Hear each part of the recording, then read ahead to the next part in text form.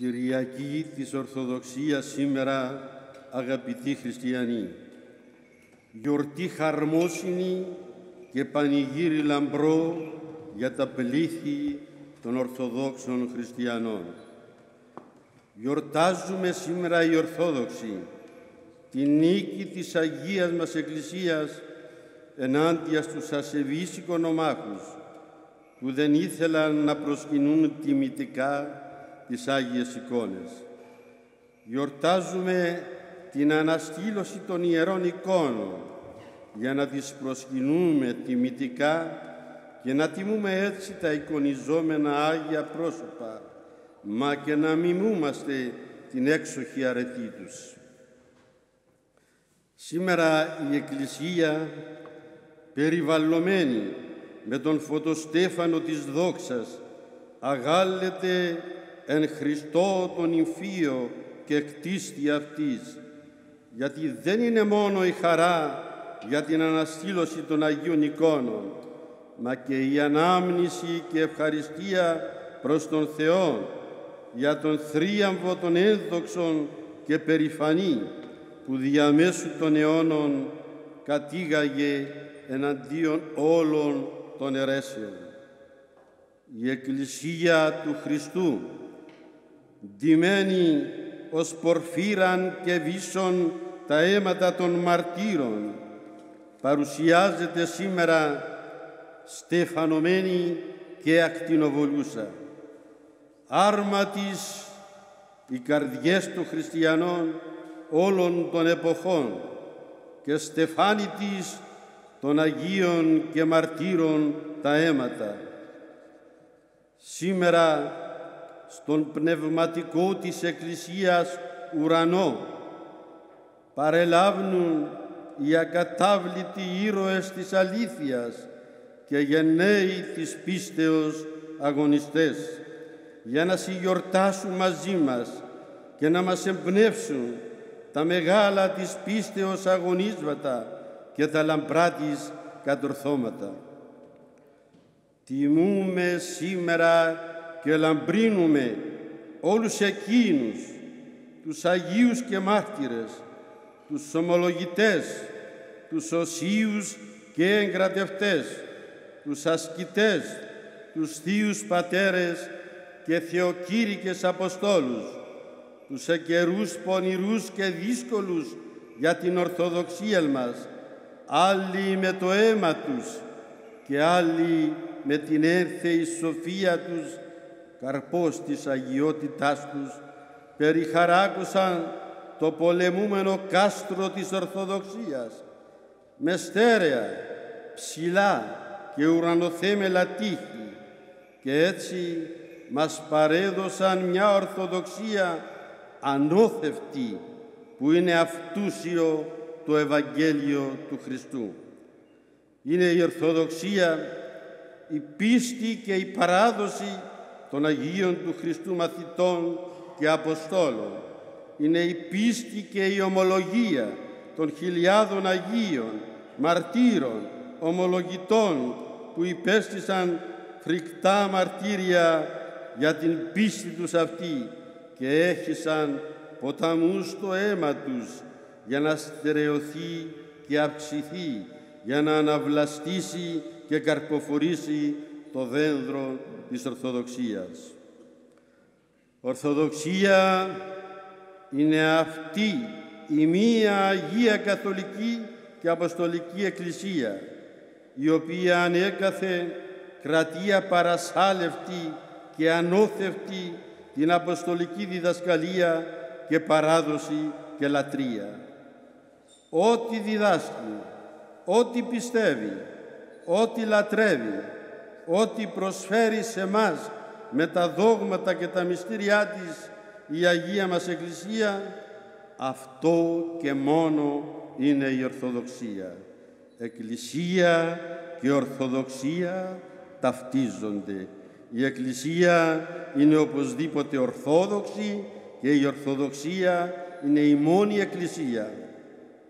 Και είναι η Ορθόδοξη πίστη θεία στη στερέωσή της, η αληθινή, η υπερφύσιν και υπεράνθρωπον οικοδομή της Αγίας Εκκλησίας. Είναι εφεύρημα της ανώτατης σοφίας του Θεού. Θεμέλιον της οικοδομής αυτής έβαλε ο Θεός την ομολογία εκείνη που ακούσαμε σήμερα από τον Ναθαναήλ. Ραβή, σιή ο Υιός του Θεού.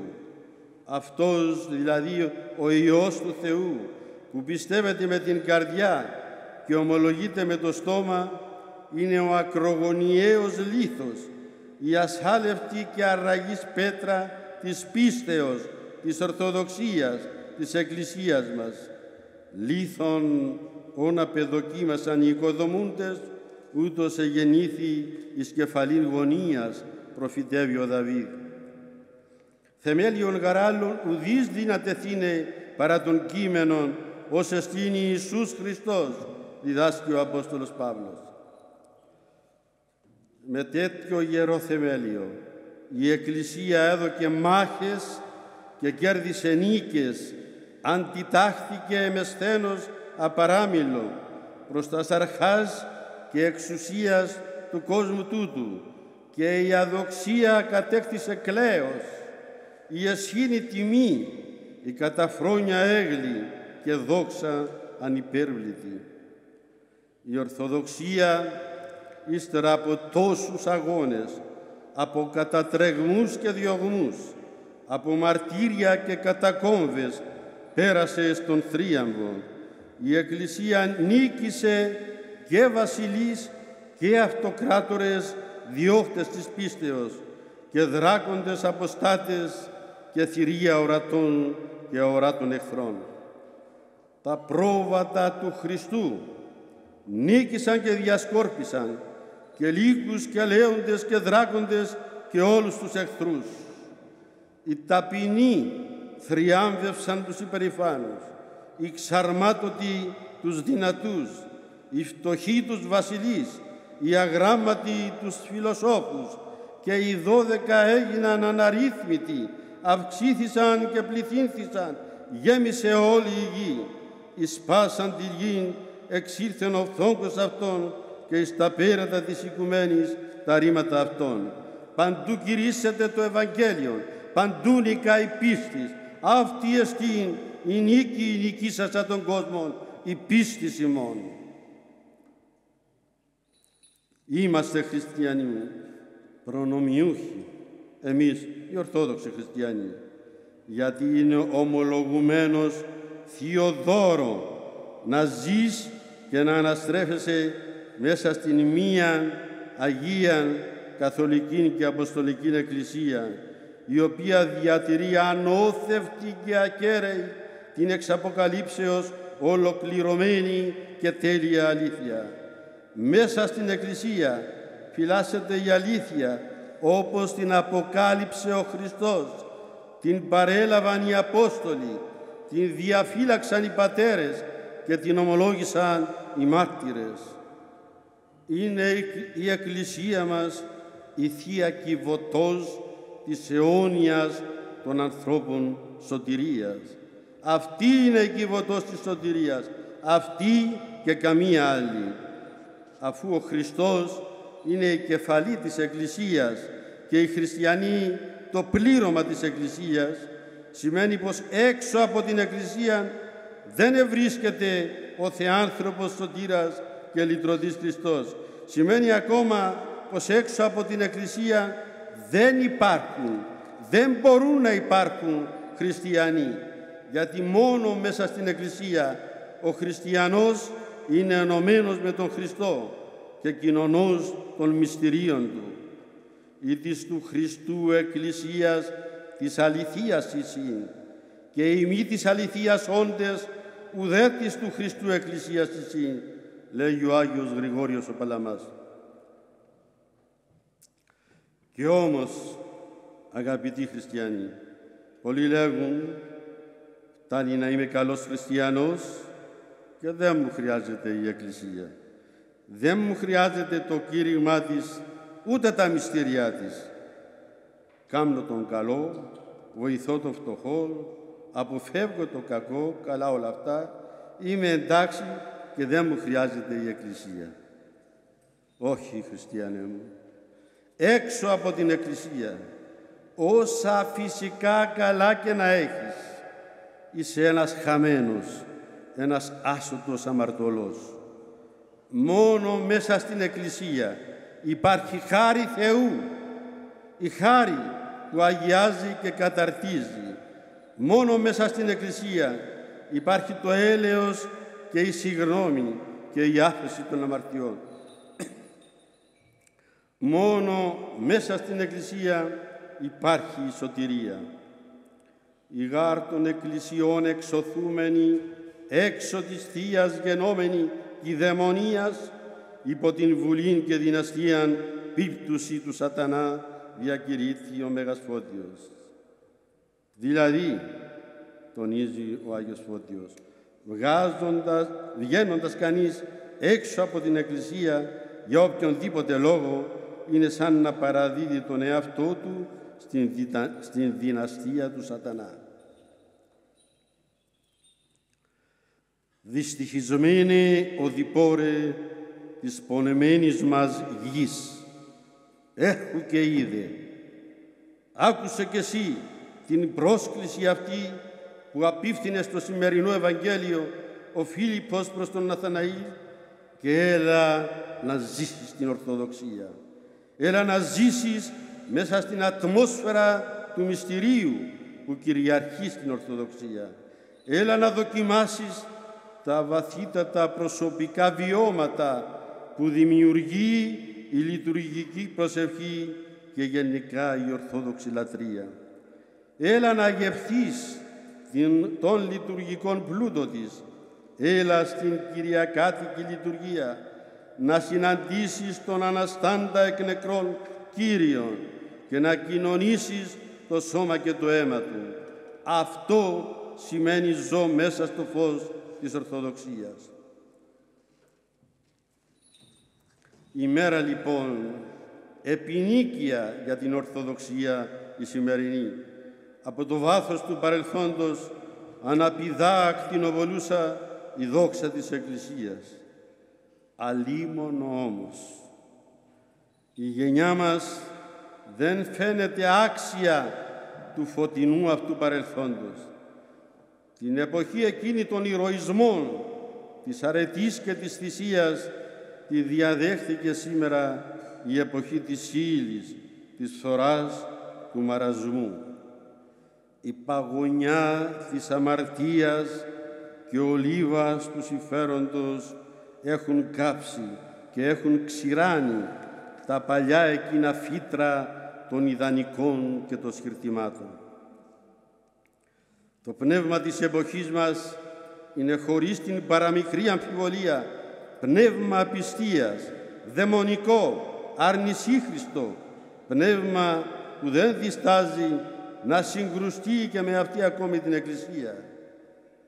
Η Ορθόδοξη Εκκλησία βρίσκεται και πάλι σήμερα σε κίνηση και πορεία, σαν σκηνή του μαρτυρίου και κυβωτός της Διαθήκης, προχωρεί μέσα από την έρημο του σημερινού κόσμου και διεξάγει ένα συνεχή και αδιάκοπο αγώνα εναντίον των ορατών και αοράτων δυνάμεων του κακού.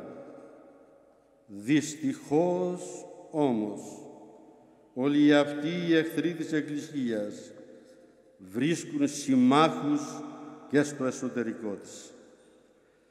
Σύμμαχοί της εμείς που με τα λόγια κοπτόμαστε υπέρ της Ορθοδοξίας, μα με τα έργα μας την καταπροδίδουμε, προκαλούντες σκάνδαλα και κλονισμούς συνειδήσεων, πολύ δε την ηρωνία και τον σαρκαζομό των εχθρών.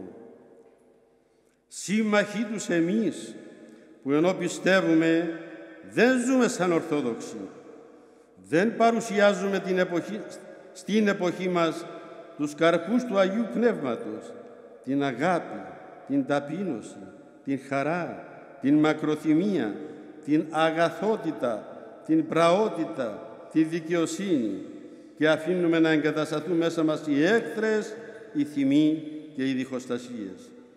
σύμμαχοί τους είμαστε ακόμα και εμείς οι επίσκοποι της Ορθοδόξου Εκκλησίας, οι οποίοι ενώ είμαστε εις τόπον και τύπων Χριστού και θα έπρεπε να εσαρκώνουμε το πνεύμα του Χριστού, πνεύμα αγάπης, ταπείνωσης, δικαιοσύνης, συγνώμης, ανοχής, επιοίκειας και μακροθυμίας, αντίθετα κυριαρχούμαστε πολλές φορές από άμετρες φιλοδοξίες και εγωισμούς και φιλοπρωτείες που γεννούν μίση και διχόνοιες, οι οποίες υπό την επίρρεια εξωτερικών πολιτικών δυνάμεων και την εμπλοκή γεωστρατηγικών και γεωπολιτικών συμφερόντων, συνεργουσών και εθνικιστικών αγκυλώσεων, διχάζουν την Οικουμενική Ορθοδοξία.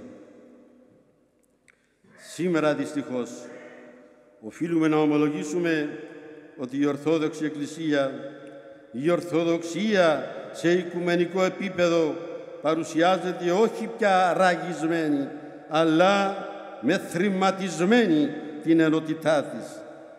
Το γνωστό θέμα της χορηγήσεως του τόμου αυτοκεφαλίας στην Ορθόδοξη Εκκλησία της Ουκρανίας, της ματοβαυμένης σήμερα Ουκρανίας, πυροδότησε βαριές, σοβαρότατες παρενέργειες που δηλητηρίασαν τις διορθόδοξες σχέσεις και διέσπασαν το σώμα της Οικουμενικής Ορθοδοξίας.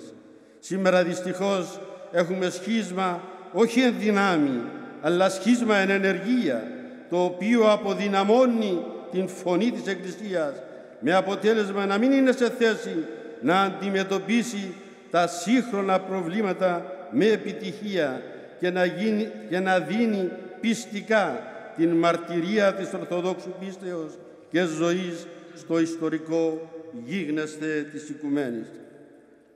Η διασπασμένη Ορθόδοξη Εκκλησία αδυνατή σήμερα να συμβάλλει αποφασιστικά στην εδραίωση και των υψηλών πανανθρώπινων ιδανικών της ειρήνης, της δικαιοσύνης, της ελευθερίας, της δημοκρατίας και του σεβασμού των ανθρωπίνων δικαιωμάτων.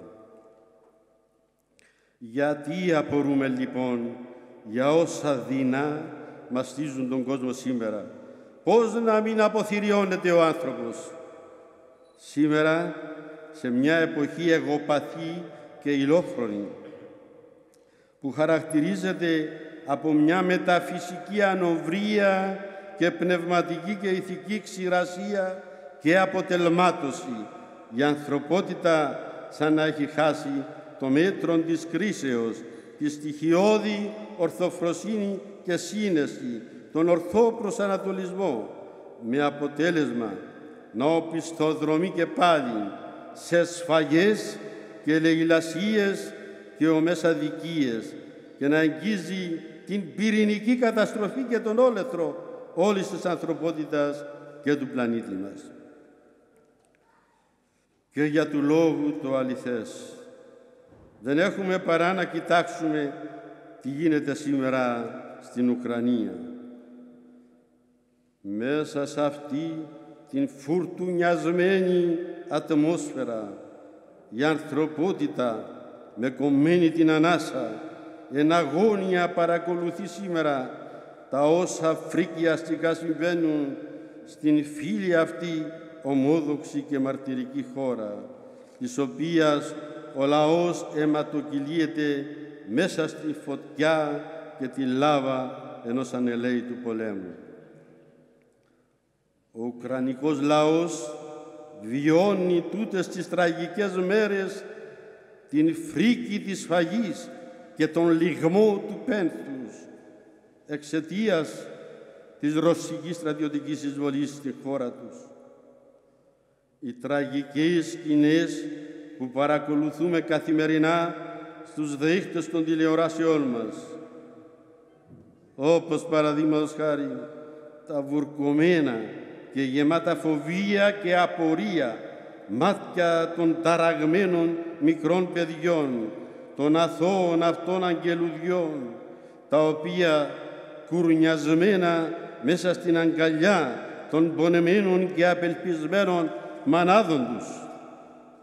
Τρέχουν στα υπόγεια καταφύγια για να προστατευτούν από τους φωνικούς πυράβλους και τις βόμβες ή αλαφιασμένες μανάδες με τα μωρά τους παίρνουν τον πικρό και επώδυνο δρόμο της προσφυγιάς σχηματίζοντας ουρές χιλιόμετρων για να σώσουν τουλάχιστον τη ζωή τόσο τη δική τους όσων και των τρυφερών πλαστών τους. Η άλλοτε ειρηνική και ευημερούσα χώρα της Ουκρανίας μετατράπηκε σε λίγες μέρες σε δαντική κόλαση ημωγών και θρήνων. Δεν σταμάτησαν ακόμα οι ημωγές και οι θρήνοι των εκατοντάδων χιλιάδων θυμάτων της Συρίας, του Ιράκ, του Αφγανιστάν, της Λιβύης και της χριστιανικής Σερβίας που προκάλεσαν το ΝΑΤΟ και η Δυτική, ατιμόρυτα και χωρίς καμιά διαμαρτυρία από κανένα δυστυχώς. Και η θύελα αυτή, η θύελα του πονέμου, μένεται και πάλι αυτή τη φορά στην Ουκρανία με την εισβολή της πυρηνικής υπερδύναμης που λέγεται Ρωσία και με κίνδυνο να επεκταθεί σαν πυρκαλιά σε όλο τον κόσμο και να έχουμε ένα τρίτο παγκόσμιο πόλεμο με ολική τούτη τη φορά καταστροφή της ανθρωπότητας. Η Εκκλησία μας πιστεύει πάντοτε ότι η ανθρώπινη ελευθερία μέσα στην οποία κατοπτρίζεται η εικόνα του Θεού αυτή δίνει νόημα στη ζωή.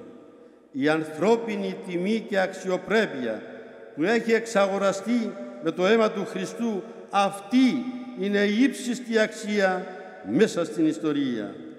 Γι' αυτό και καταδικάζουμε τον πόλεμο εναντίον της Ουκρανίας και είμαστε υπέρ της ανεξαρτησίας και της εδαφικής ακαιρεότητας της χώρας αυτής.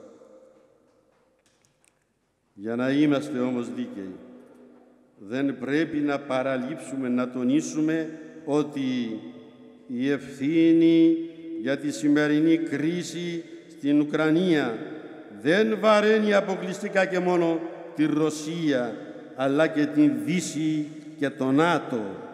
Και τούτο εξαιτίας της αρνήσεώς τους να λάβουν σοβαρά υπόψη τις ανησυχίες της Ρωσίας, η οποία αισθάνεται ως απειλή την υπερικύκλωσή της από το εχθρικό προς αυτή ΝΑΤΟ.